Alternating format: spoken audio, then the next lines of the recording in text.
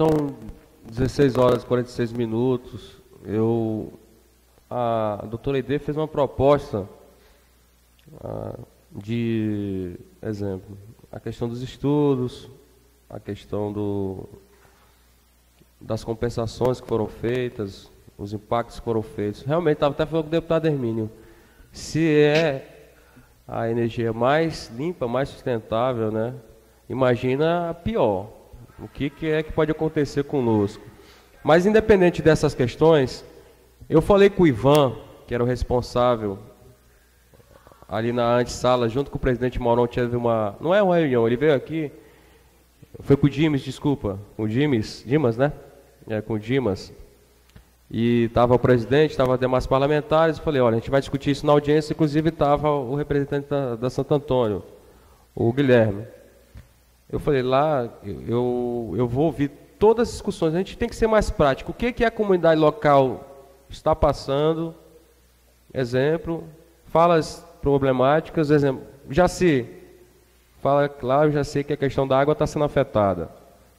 A questão. Aí vai, nós iremos pontuar e depois Santo Antônio, ele entra no mérito, se vai querer fazer as devidas propostas, as compensações, os planos de mitigação e outras questões que é para se fazer e era para se fazer. O outro ponto, eu pergunto, tem algum algum engenheiro, alguém habilitado que possa manifestar aqui de forma técnica eu até fiz um convite que na, teve uma audiência aqui do deputado Léo Moraes, a primeira, e teve um engenheiro, inclusive já fez diversas explanações e palestras, e eu queria ouvi-lo. E por que, que eu digo isso? No ano de 2014, teve aquelas enchentes. Mas antes das enchentes, na construção das usinas do Rio Madeira, eu sou ribeirinho.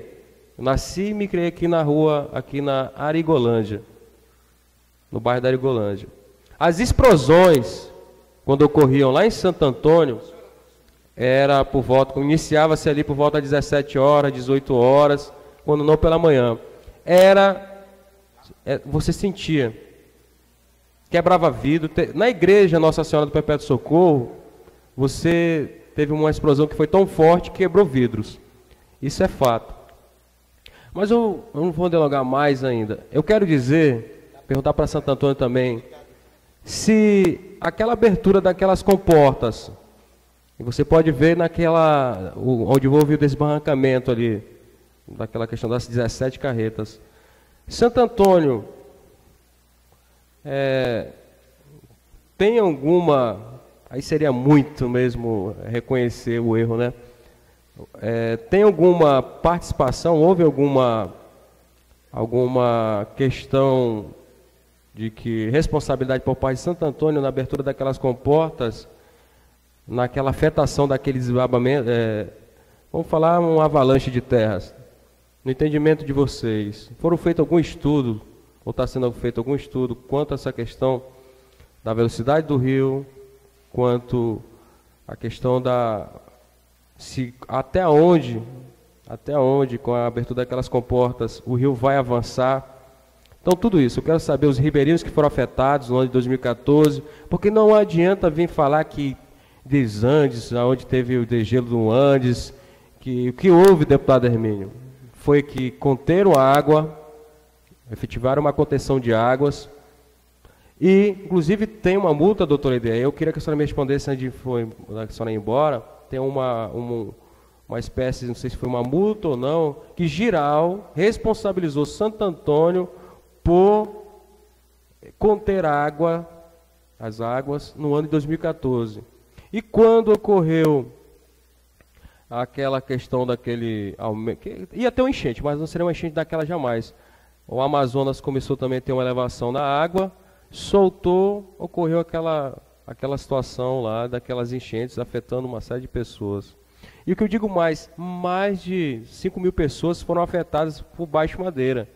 E aqui o, o, o responsável lá, o de Santo Antônio já disse, para baixo das comportas, só decisão judicial que a gente não tem responsabilidade nenhuma. Pode esquecer isso aí.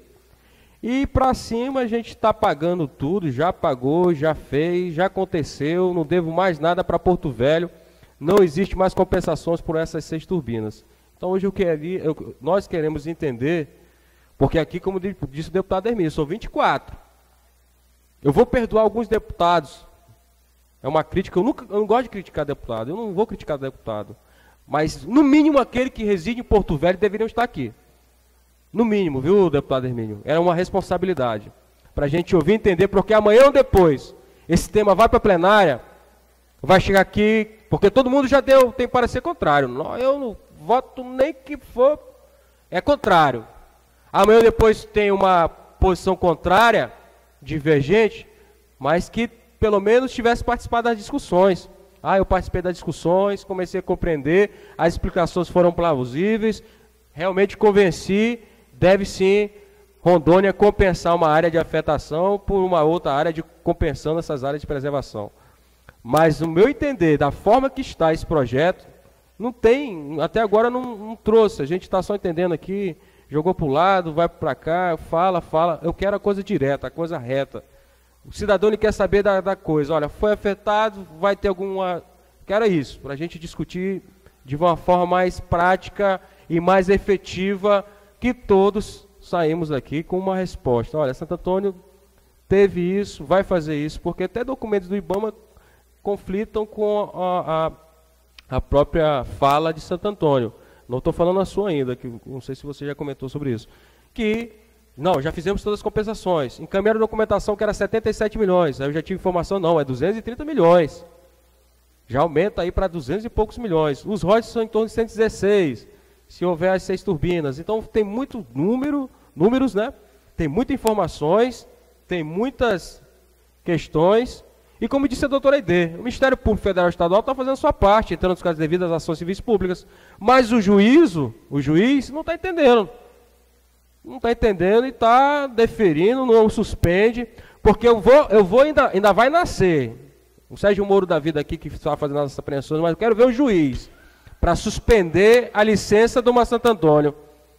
Aí eu queria mesmo falar, olha, o cara tem que ter peito. Mas não depende só do juiz. Aí vai sair para onde? Para um colegiado, para os desembargadores. Infelizmente é a justiça.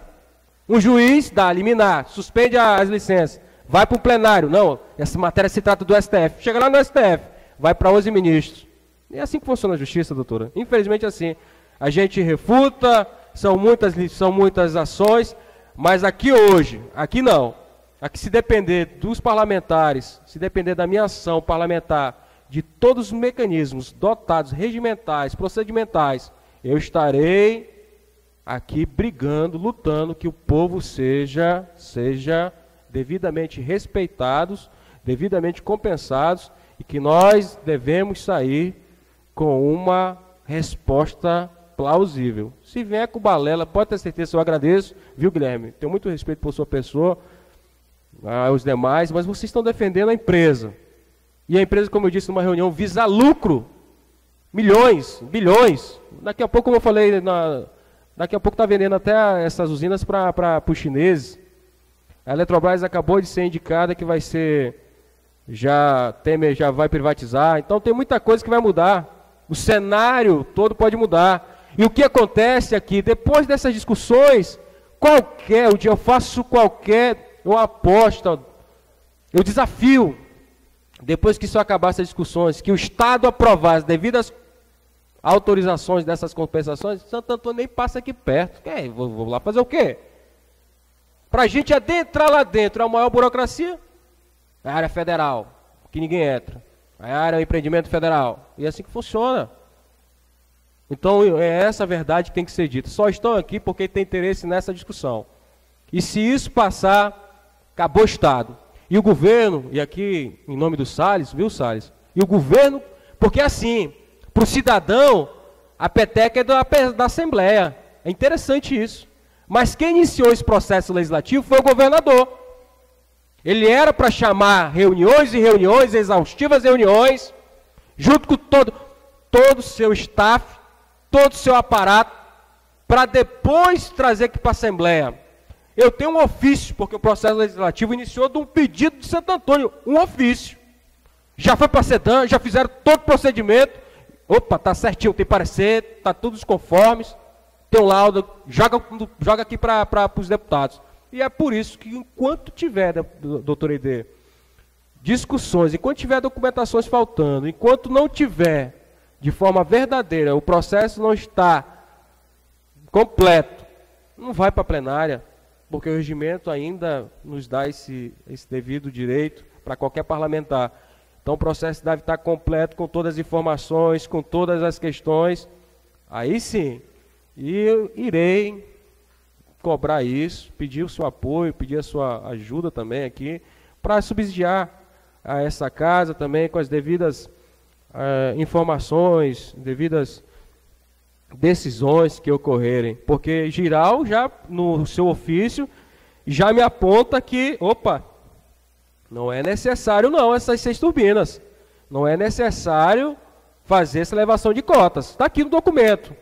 Então, Giral, que tem o mesmo conhecimento, tem as mesmas pessoas habilitadas ali, que deve ter engenheiros. Então, está tendo um conflito aqui. Giral diz que não precisa, que faz um apontamento que é necessário fazer isso. E aumenta ainda mais a, a, a questão do aumento da, da distribuição energética. E Santo Antônio diz que é necessário. Quem é que está mentindo nessa discussão?